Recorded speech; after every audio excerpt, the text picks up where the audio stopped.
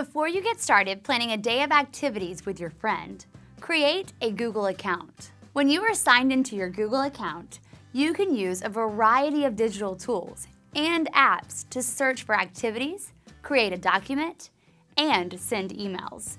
Everything is saved in your Google account so you can access it later. That way, you can use a public computer or complete each step at your own pace without worrying about losing your work.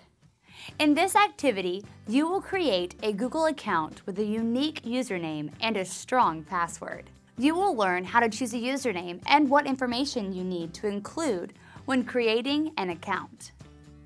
You will also create a secure password to keep your account safe. To get started, open a new tab in your browser.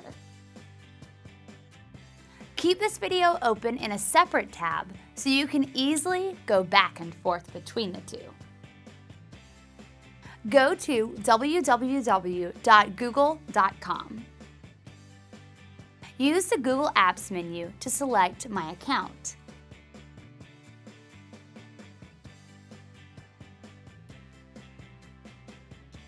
Then choose to create a new account. If you already have a Google account and you want to update your name or any other information in your profile, begin by accessing your account page. To access your personal information, find the Account button on your account page. It might be your picture if you added one, or the first letter of your name. Then navigate to the section for personal information.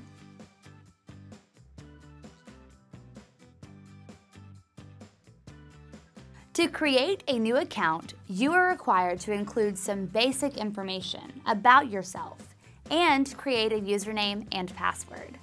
To start, enter your first and last name. This is your display name and will be used across your Google and email accounts. Anyone who receives an email from you will see the display name you've chosen. Your display name is shown in the From field when you access your email and in other places across your Google account. Most people use their real full name so that it's easier for others to identify who sent the email or created the document. If your display name is fake or unclear, the recipients of your email may think they are being spammed or being sent junk mail instead of something important or useful. To continue creating your account, fill out the form. The next step is to create a username. You will use your username to sign into your Google account and the Applied Digital Skills website. When creating a username, one option is to use your name or initials.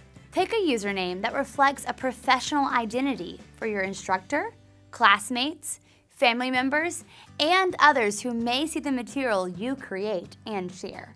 Use any combination of numbers and letters. Separate different parts of your username with a period. If the username you choose is already taken, you will be given a variety of alternatives to use instead. Your username will also function as your email address, with at gmail.com added to the end of it.